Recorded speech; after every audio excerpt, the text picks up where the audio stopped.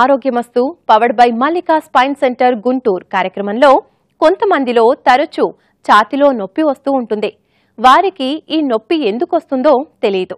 ఒకవేళ ఇలా క్రమంగా నొప్పి వస్తూ ఉంటే అది ఛాతిలో నొప్ప లేక గుండె నొప్ప అని ఎన్నో అనుమానాలు మరెన్నో భయాలు వెంటాడుతూ ఉంటాయి. మనిషిని కొన్ని క్షణాల పాటు ఉక్కిరి బిక్కిరి చేస్తాయి.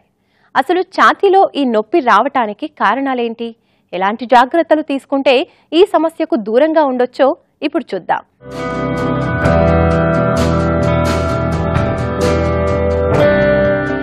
మనిషికి గుండె ఎంత ముఖ్యమో ఆ గుండెను రక్షించే ఛాతీ సక్రమంగా ఉండడం కూడా అంతే అవసరం. ఛాతీలో గుండెతో పాటు ఊపిరితిత్తులు రక్తనాళాలు కండరాలు ఇలా అనేక అవయవాలు ఎముకల గూడులో భద్రంగా ఉంటాయి. వీటిలో దేనికి సమస్య వచ్చినా కూడా దాని ప్రభావం ఛాతీపై పడుతుంది. దీంతో ఛాతీలో నొప్పి లేదా గుండె భాగంలో ఏదైనా ఇబ్బందిగా అనిపించినప్పుడు కాస్త గందరగోళం సహజమే.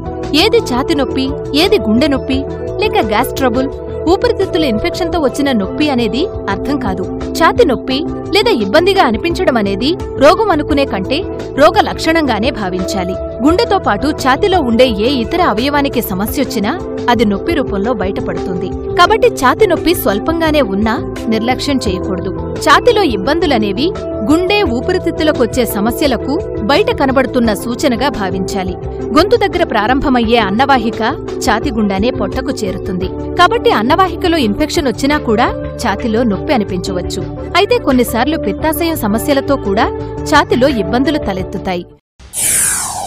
అన్ని ఛాతి నొప్పులు గుండె నొప్పులు కావు. కొన్ని ఛాతి నొప్పులు మాత్రమే గుండె నొప్పిగా మనం మొదట అర్థం చేసుకోవాలి. ఎందుకంటే మనం కంగారు పడితే ప్రతి ఒక్కటి గుండె నొప్పి అనుకునేసి గాబరపడి అందరినీ కంగారు ఇచ్చేస్తాం గుండె పోటు వల్ల వచ్చే ఛాతి నొప్పి మధ్య ఛాతిలో కానీ లేదా ఎడమ ఛాతిలో కానీ విశాలమైన ప్రదేశంలో వస్తుంది.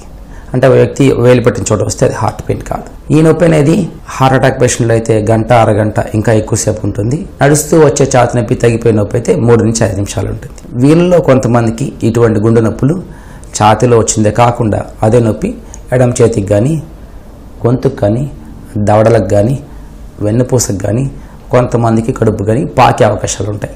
గుండెపోటు వల్ల వచ్చే ఛాతి నొప్పికి లక్షణాలు ఇలా ఉంటాయి. సడన్గా వస్తుంది తీవ్రంగా వస్తుంది చాలా పెద్ద ప్లేస్లో వస్తుంది పట్టేస్తుంది కదలనేయదు ఊపిరి సలపనేయదు ఆయాసపడతాము చేయి లాగేస్తుంది చెమటలు పడుతుంది నిరసించిపోతాము. అండ్ ఒకవేళ హార్ట్ అటాక్ వల్ల అయితే మాత్రం అరగంట గంట రెండు గంటలు అలా పెరుగుతూ పోతుంది. ఈ నొప్పి మోస్ట్ ఇంపార్టెంట్ ఏంటంటే మనది ఆ కాసేపటికి తగ్గిపోతుంది తగ్గడం పెరగడం తగ్గడం పెరగడం కాకుండా అలా అప్రతిహతంగా అలా పెరుగుతూ పెరుగుతూ పెరుగుతూ పోయేసి అసలు వాళ్ళని కళ్ళ కదలనేయకుండా చేస్తుంది. ఇటువంటి నొప్పులు మాత్రం గుండెపోటు నొప్పులుగా గుర్తించాలి. అటువంటిప్పుడు మనం వెంటనే ఎమర్జెన్సీగా హాస్పిటల్కు త్వరగా చేరుకోవాలి. గుండె నొప్పికి ఛాతి నొప్పికి మధ్య తేడాను గుర్తించడం కష్టమైన విషయమే. గుండె నొప్పి ప్రధానంగా ఎడమవైపు మాత్రమే వస్తుంది. అది క్రమంగా వీపు భాగంలోకి ప్రసరిస్తుంది. గుండెపై పెద్ద బండరాయి పెట్టినట్టు బరువుగా అనిపిస్తుంది. విపరీతంగా చెమటలు పట్టడం వాంతులు రావడం లేదా వాష్రూమ్కి వెళ్ళాల్సిన అవసరం వస్తే అనుమానించాలి. వెంటనే వైద్యుణ్ణి సంప్రదించాలి. ఒకవేళ ఛాతి నొప్పి అయితే ఇంత తీవ్రత ఉండదు. కేవలం ఎడమవైపున మాత్రమే కాకుండా కుడి భాగంలోనూ నొప్పి రావచ్చు. లేదా ఛాతి మధ్య భాగంలో నొప్పి తీవ్రత ఎక్కువగా ఉండవచ్చు. వాంతులు చెమటలు పట్టడం లాంటి ఇతర లక్షణాలుండవు. గ్యాస్ సమస్య ఉంటే అది ఛాతీ మధ్య భాగంలో కాకుండా పక్కటెముకల్లో నొప్పిగా ఉంటుంది. ఇక పొత్తి కడుపు నుంచి గ్యాస్ పైకి ఎగదన్నుతున్నట్టుగా అర్థమవుతుంది. కొన్నిసార్లు కండరాలలో నొప్పి కూడా ఛాతిలో ఇబ్బందులకు కారణమవుతుంది. మొదట ఛాతి నొప్పి అన్నప్పుడు ఇది హార్ట్కి సంబంధించింది కాదు అని తెలుసుకోవడం ఇంపార్టెంట్. ఓకే ఇది గుండె నొప్పి కాదు అని పరీక్షల ద్వారా తేలింది. మరేటో నొప్పి గ్యాస్ నొప్పి లేకపోతే కండరాల నొప్పి అనుకునే అవకాశం ఉంటుంది కాబట్టి వీటిని నిర్ధారించుకొని పరీక్షలు చేయాలి. ఈ పరీక్షలో ఇంపార్టెంట్ పరీక్ష మనకు ఈసీజీ పరీక్ష. ఈసీజీ కాకుండా మరో పరీక్ష మనకి గుండె scan. Echocardiograph two D echo అనే పరీక్ష. ఈ టూ డీ ఎకో ద్వారా మనం గుండెను టీవీలో చూసినట్టు చూసి గుండె కండరం ఎలా పనిచేస్తుంది గుండె కండరం ఎలా కొట్టుకుంటుంది గుండెలో కవాటలు ఎలా పనిచేస్తున్నాయి ఈ ఛాతి నొప్పి అనేది గుండెకు సంబంధించిందని మరో కోణంలో ప్రదర్శించే అవకాశం లేకపోలేదు.